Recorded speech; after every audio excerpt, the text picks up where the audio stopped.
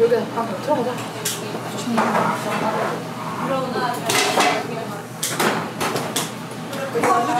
네. 아니 그게 주세요. 너 뭐 먹을까? 빨리. 물냉면 어? 뭐라고? 물냉면